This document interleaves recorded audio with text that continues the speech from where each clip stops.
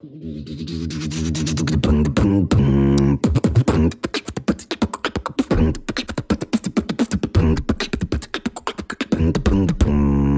are now tuned into the Leader's Lens podcast.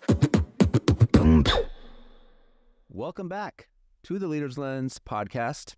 My name is Jacob Espinoza. This quarter, we're diving into conflict resolution. On the newsletter, on the podcast, this is what we're talking about because conflict resolution is a big deal.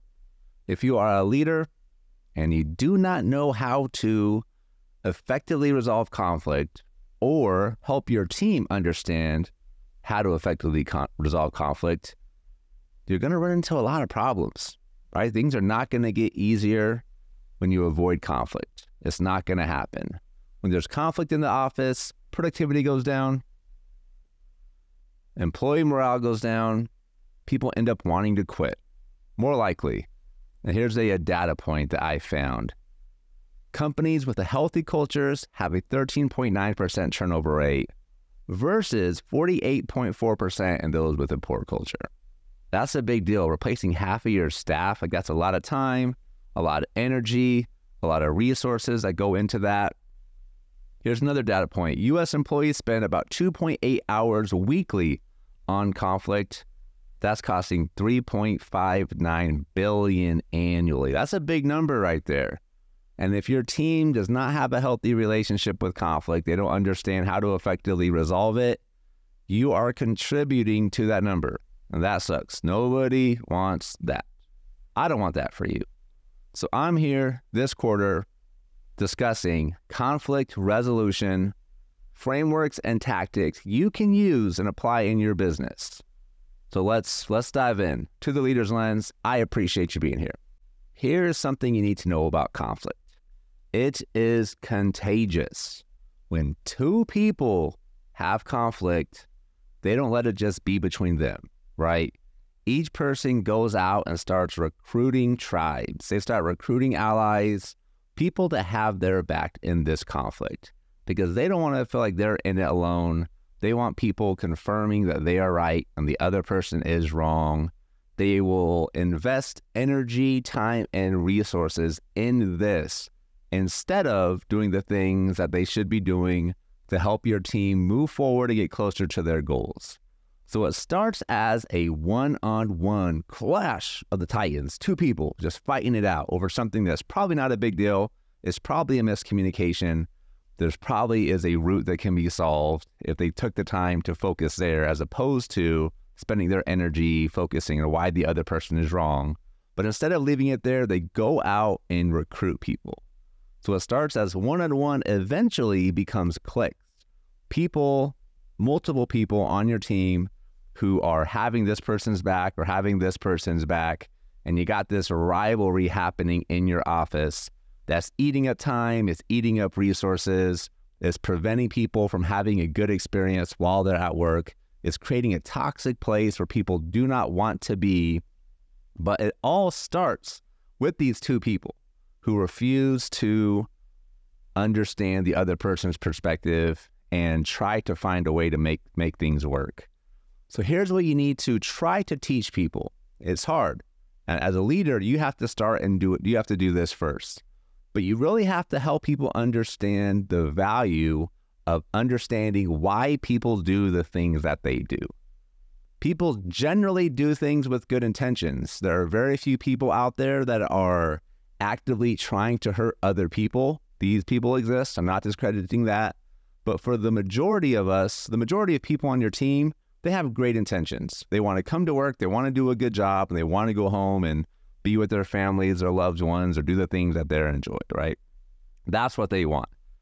And so what happens though is that something happens that is misperceived by somebody else who feels like this thing was done as ta- an attack against me or this thing was done is preventing me from being at my best. And in those moments, we have to allow ourselves to be vulnerable. And instead of joining the fight or starting a fight with somebody else, actually taking the time to listen and understand where this other person is coming from. So imagine a visual of two people sitting back to back so they can't see each other. You need to be the person that turns the chair around and actually tries to see this person for where they're at. And when you turn your, your chair around, you're inviting the person to do the same thing. I once had a, a conflict at a youth basketball game. This is kind of a a silly situation, but I think it's a good example of me learning from my past experiences of not handling conflict well and getting defensive, but actually practicing what I preach and seeing deeply, understanding where somebody was coming from. But I had a parent that was just really mad at me. They felt like their kid was not getting the ball enough. They felt like it was a personal attack against them and my the kids on the team just weren't listening and I was a bad coach. And this is happening at halftime. And so she's yelling at me, and people are are starting to look and wonder what's happening over there. It's kind of creating a scene in this this gymnasium. And if you've ever been in an elementary school gymnasium, you understand that things echo really quickly. So when someone's raising their voice, like you can imagine the kind of the stir that it was causing and the uneasiness amongst the crowd. But I took a deep breath instead of getting defensive in this moment. I took a deep breath and I really challenged myself to think about where was this person coming from. And instead of getting defensive and explaining or even explaining myself why I was doing the things that I did, which wasn't really important in that situation, right? I think sometimes in conflict, we try to justify our actions, which is honestly not the best uh, first step. First, we want to try to see this other person and eh, try to see their perspective. And so I made a statement that kind of diffused the situation. And this statement was, I can tell you really care about your, your child a lot. I just said that. And in that moment, things diffused. She was able to take a deep breath. She apologized, actually. She said she was just frustrated that her kid wasn't getting the ball. She knew I was trying to do my best. And that's all I said. I didn't justify my actions. I didn't explain where I was coming from. I just took the time to try and see their perspective and understand why they were doing this thing. And sometimes it is literally this simple to stop a conflict before it gets started in the, in, in the moment. When somebody is approaching us and attacking us, instead of getting defensive, have the confidence, have the vulnerability to just take a deep breath, see where they're coming from, try to find some sort of common ground, assume the best intentions. Like this person probably has good intentions somewhere assume the best intentions, try to understand where they're coming from, make that your focus as opposed to getting defensive and getting in attack mode because that's just going to amplify and escalate the situation. But if you can take that deep breath, try to see their perspective, generally it'll allow a productive conversation where two people can collaborate. As a leader, the extra element you have is sometimes you're trying to diffuse situations between two people or things have already started to bubble up and you're seeing the conflict happen, you're starting to see the tribes form, which does make it a lot more challenging. What you have to do though is not take sides. Take the same perspective. Try to understand where each person is coming from. Challenge each other, the two people in the conflict, try to challenge them to see the other person's perspective and understand why they are doing the things that they're doing. Because there's probably, when we start taking the layers down, there's more to it than just this person is irritating me. This person is doing this thing that's making my job harder. Let's let's let's unravel a few layers and really understand what is at what is the motivation behind that. What is the inspiration for these actions? So if we can challenge our team to do that instead of battling each other, instead of bad mouthing each other, we're going to be able to put ourselves in a place where we can actually mediate and make some changes the five layers of why are a great tactic. So let's dive into that. So a lot of conflict happens because something happened that made life harder for somebody. Like simplified terms, that's generally what happened is I was on this path and this thing got in my way and I have somebody that I need to blame for this thing. There's somebody that I am looking at and that had direct relation to this obstacle. I'm saying it's their fault that this happened. And as a leader, we see this happen in our organization all the time where expectations are set, someone doesn't follow through on it, something gets missed, something gets overlooked, and now we have a problem. Now we have a fire drill. We have something that needs to be taken care of. What happens a lot of times on teams is we just put a band aid on it. Something happens, we're busy, we don't have the mental capacity to try to deal with this because of everything else that is happening in that moment. So we go with the fix that is the easiest and the quickest so we can get back to our day. And even when we make these decisions, a lot of times we understand what we're doing. We understand this is not a long term fix. We tell ourselves, like, I'll get to this later, but then we never do because we have more and more fire drills that keep happening because we never get to the root of the issue. We don't fix the systems and the processes that are leading to these fire drills, so they keep happening. And it drives people mad. People go absolutely mad. People are already busy, they're already stressed out, and they have to keep dealing with these fire drills. It's a terrible experience. So, my challenge for you is instead of putting band aids on these problems, take some time to get to the root of the issue. Your goal as a leader when problems happen is to find the system or process or tool that needs to be fixed or needs to be created to prevent this problem from continuing to happen. Sometimes it's going to be a lack of accountability, right? Expectation was already set. This person is not following through on the expectation. They continue to not follow through on the expectation. And as a leader, if you don't have the right conversation to fix that action that that person is taking or not taking, it's going to damage trust on the team. It's going to create conflict within the team. And people will lose respect. They'll lose trust for you as a leader because they'll wonder if you're actually competent enough to do the job. They'll wonder if you care enough about the impact that this lack of accountability is creating on their team. So, as a leader, it's a big deal. And in order to be proactive, we can ask why five times. Five layers of why. So, something happens.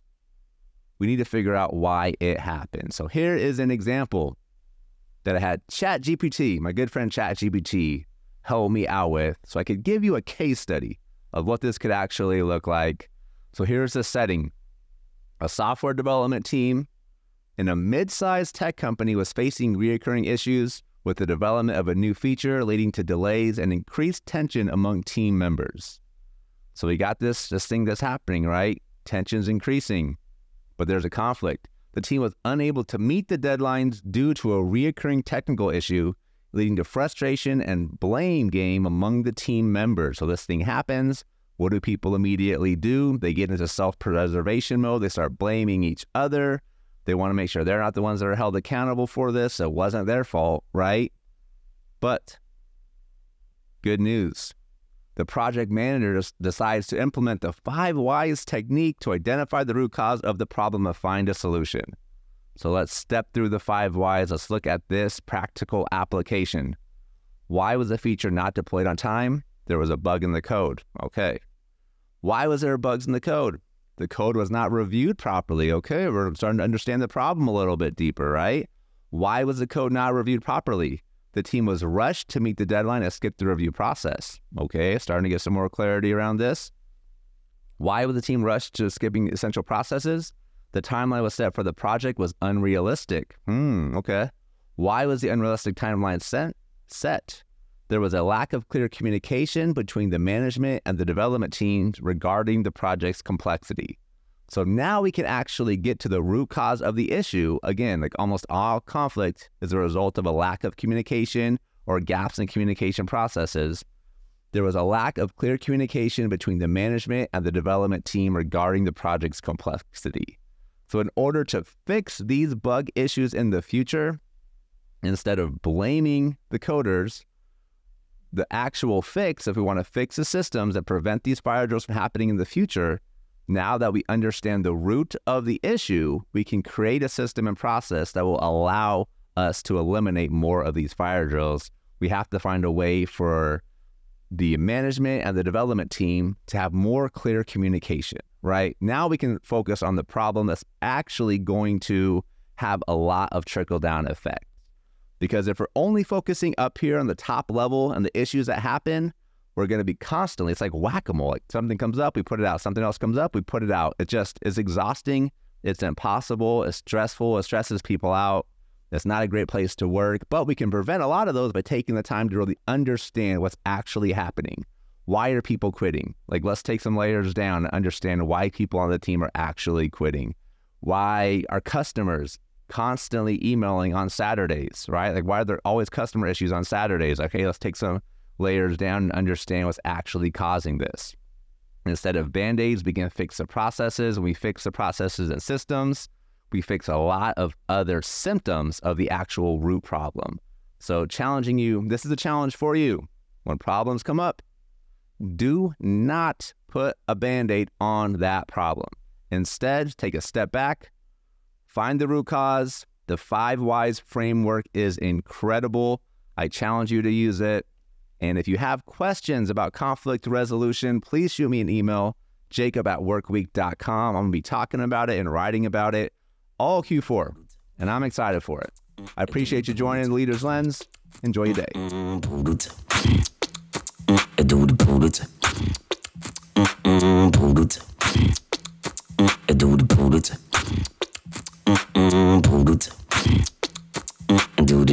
Brodet. brodet. Brodet. Brodet. Brodet. Brodet. Brodet.